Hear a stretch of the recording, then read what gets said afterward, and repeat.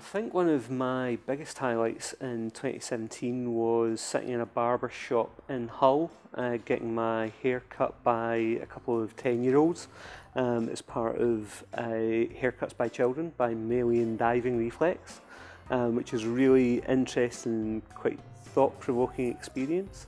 Um, so, yeah, this isn't that haircut.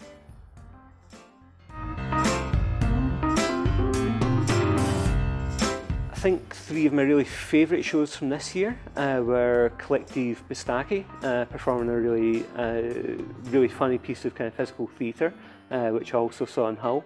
Um, there was also uh, Equilibris by the Bolzini family, which is a fantastic, really thrilling uh, piece of classic high wire artistry. Uh, and then there's also uh, The Adventures of Sneagle uh, by Caroline Bowditch, which I got to see at Just So Festival. Um, and it was a really lovely piece uh, for younger children, a very interactive kind of piece. My little boy absolutely loved it, so they're three of my real kind of uh, performance highlights from the year.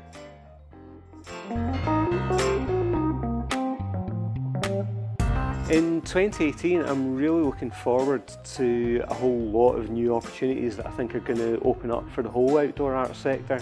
Um, in the space of 2017, we've seen a really big increase in support from the Arts Council of England, and I think that's given a real kind of confidence boost, and it's been a real, a, a real vote of confidence in the whole outdoor art sector. So I think there's a lot of kind of exciting things in the pipeline for next year, and I'm really looking forward to it.